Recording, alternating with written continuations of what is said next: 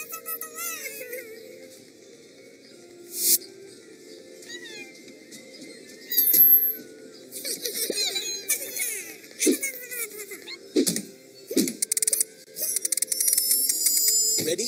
Go!